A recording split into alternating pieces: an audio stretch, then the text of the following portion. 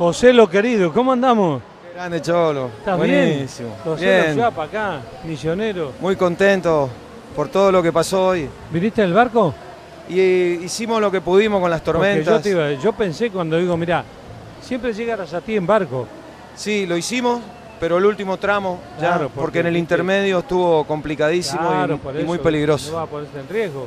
Exactamente, pero ¿Cómo fue? Sobre- A ver, contame. sobre el final, gracias al Colo con su catamarán, hicimos la llegada con la Virgen de Itatí Claro. y todos los mayoneros que siempre nos acompañan.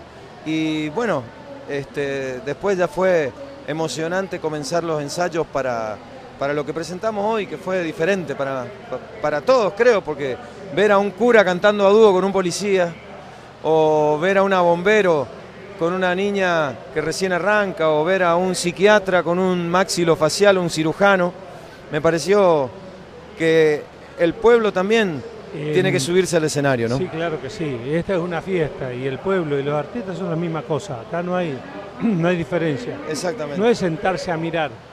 La obra se completa con, con- con- entre todos. Exactamente, además eh, la humanidad completa necesita de los pueblos y los pueblos son la humanidad, es decir que el chamamé del pueblo en el de la humanidad es un todo en uno. eh, es un orgullo ser tu amigo. Gracias. Gracias Cholo, gracias de corazón, te debo la visita por Buenos Aires. Dale. Ya José vamos a ir. Schwab, un grande, aquí en la fiesta nacional del chamamé. Nos vamos al Sosa Cordero.